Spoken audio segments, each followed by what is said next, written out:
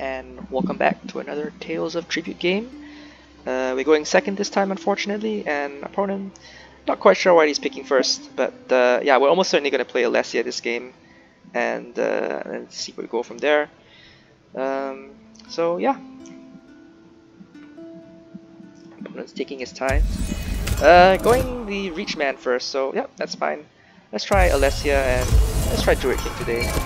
I tend not to pick the Pelin, Kroz, or Celarus because those are the starter decks. Uh, I think the, the other decks are a, a, bit more interesting and you know sometimes your opponents tend to pick the starter decks too so yeah let's see how it goes. Anyway Crow Crows first uh, and our opponent gets the first pick and he gets to pick Murder of Crows probably. With Reach in the game that is always something that is very very scary and something that no one ever really wants to deal with but yeah for opponent gets the first pick and it goes Crows so very very scary for me. Um, we got 5 power. Uh, unfortunately, I don't think our deck is that great. I don't think there's many good things in the tavern right now. Now, I was checking my opponent's uh, hand because I'm quite sure he does not have the power to kill our Karth Manhunter uh, in the coming turn. So I'm considering picking that, either using that or using the Saint Alessia power, or maybe picking up a Priestess of the Eight.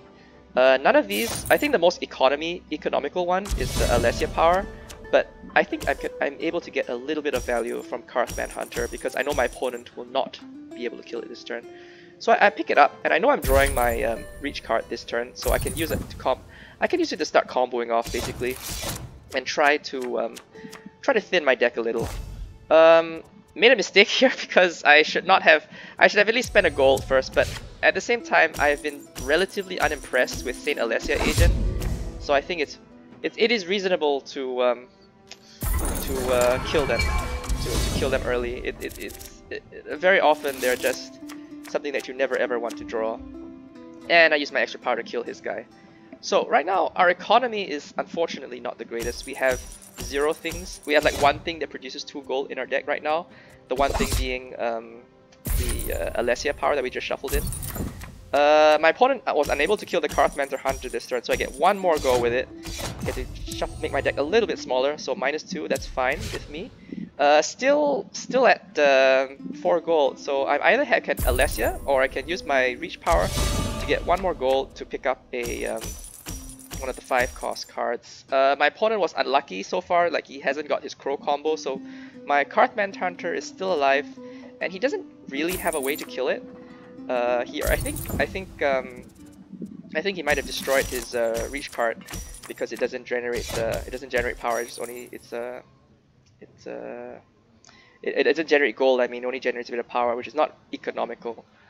Um, and that is fine, except sometimes you're facing agents down and you do need that little bit of power to start knocking them out. And I do have a Soldier of the Empire on the field too, which if my opponent can't deal with that, that's going to be quite annoying. This is not an easy pick. Um, I am not sure which is I am still not sure which is the best pick. The right collar is very strong and can produce enormous amounts of gold if you get the combo going. Uh, the uh, Envoy is fine. Priestess of 8 also good for donating cards away. And you know, I'm gonna try and make my deck as small as possible and then we can try pick up the good cards. So let's try let's try Priestess first and see where we go from there. My opponent does pick up power, just managed to kill my guy, and he also gets, unfortunately, the card I wanted to do get the Briar the Briarheart ritual. So now he's gonna go super strong, crow, super scary, maximum crow power right now. Uh, we fortunately draw our Chainbreaker Sergeant, which is just enough gold to pick up our own Elder Witch, which we don't want our opponent to get, and it creates another roadblock for my opponent to go through. Um, he does have uh, Morihaus, which can kill any one of my agents. Probably gonna kill the Elder Witch with it, which is a shame. Uh, Morihaus definitely showing his showing his value there. Uh, and with 6 gold, he can pick up anything, but he sort of wanted to pick up crow cards. I'm not sure Chainbreaker Sergeant is the greatest card ever. I mean, it, I mean it's 3 gold, but if you're trying to make your deck as small as possible and build crows, it may not be quite what you want. Now, he does kill my Priestess of the 8, but he still is having quite a bit of trouble dealing with agents. Uh, so I'm going to get a little bit more value out of my Priestess. I don't really want War Song because... Uh, was that correct actually? Maybe I should have got War Song, picked War Song up. Because um, it really depends on where I want to go from here.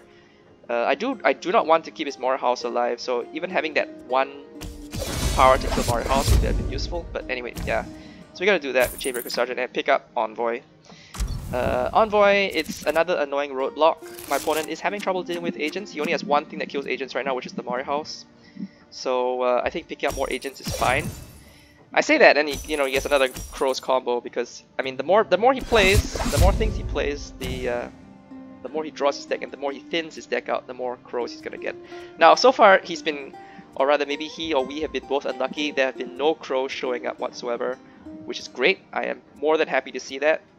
The Tavern is showing us a lot of other cards. He picks up the uh, Saint's Wrath, which is good against agents, which is perfectly reasonable since I do have a number of agents in my deck. And he picks up, you know, uh, the Crow, um, the Right of whatever it's called, and that draws him card, but doesn't really bring me him or me forward. We don't need that because he doesn't have any, any agents on the battlefield. So let's just try Envoy, get a combo with Envoy off because we got a Soldier of the Empire as well.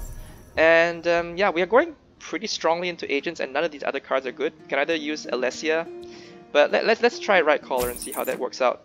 We are ahead of power compared to our, uh, we are ahead in prestige compared to our opponent because uh, his deck so far not exactly prestige generating at the start. Now he is going to start generating some prestige now because he has picked up a couple of Alessia, a couple of, uh, still has that one Crow combo in his deck. So where he goes from there.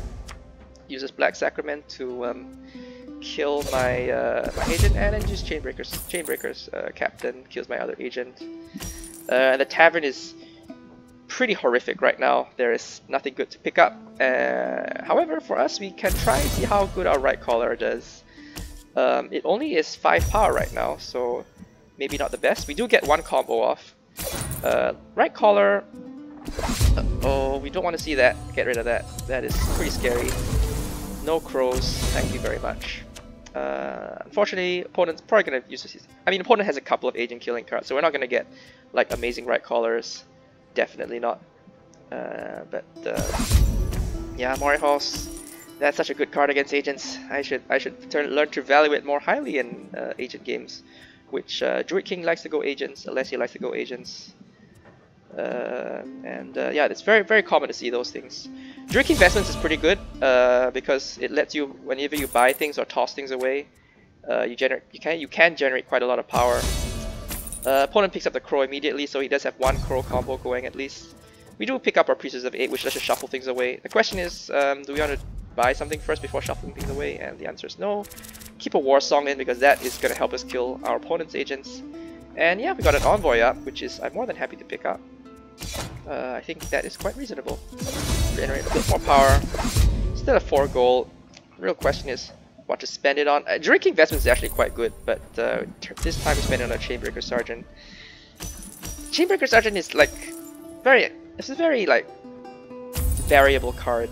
Sometimes the crow, sometimes the library shows great cards, and you just don't want to use Alessia, and sometimes the library shows really bad cards. And it's definitely quite skill testing to figure out what is the best. Now, my opponent couldn't kill my agent, so he uses the crow power. Um, I guess that's fine. I mean, he misses out picking up the murder of crows, but I guess he just cannot let all my agents stay alive this turn because that's just going to generate way too much value. Now, that being said, wait a minute. Why did he... That's probably a mistake. If he had a Saint's Wrath in his hand the whole time, he should have just used it.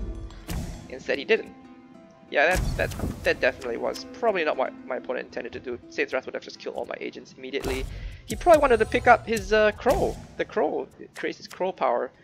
Um, this is great. Uh, we've drawn a Wizard Totem plus the right Collar. That is gonna start building us enormous power bank. Um, this and we shuffle away the crows because we're not going crows. We're not really going crows at all. And um, uh, another crow, not really what we want our opponent to pick up. So let's get rid of that. Uh, and yeah, Briarheart Ritual. Great, let's make our deck even smaller. So our deck is pretty small. Um, and can we beat our opponent though, is the question, because he has a couple of crows in his deck. But I don't think he has quite enough crows. Using the um, reach power, I'm not so sure about that, because this may this may come down to the wire, but fair enough. And yeah, um, Vestments is actually quite a reasonable card. It can generate a lot of power. It's basically the Forest Wraith, but it's a one-use Forest Wraith. And I mean, everyone knows Forest Wraith is very, very good. It's one of the best King cards, so it's definitely very interesting. Now, I have a great board right now. My opponent kills one of them. He kills a Forest Wraith, which is the most important one to kill. Uh, but we are going to generate a lot of gold next turn, and with a lot of gold, I think what we can go for at this stage is um, the Crow Power, because Crow Power turns gold into power. Uh, and uh, my opponent really needs to be able to stop me from, uh, I mean, double Wishart Totem plus, yeah, this is a this is a huge, you have a huge turn coming ahead of us, and uh, I'm not sure my opponent has what quite what it takes to finish us off at this point. Now he reviews a lot of Crow cards, but I think at this stage it may be a little bit too late because we have the Fabled Combo 4 and Wisparp Totem. Let's play our Envoy first to get the most value out of it. Wisparp Totem, Wisparp Totem, just play all our cards. Yeah, this is gonna get really nasty, and my opponent, uh, I think he, I think he sees the writing on the wall and uh, calls it a game. So yeah, very interesting game. I wasn't sure I was going to win it at the start. I was panicking a lot because of my opponent picking up crows early and making his deck a bit smaller. But the crows didn't really show up um, later on in the game, and we managed to, I think, sneak out a win with uh, Druid King in that way. So yeah, very interesting game.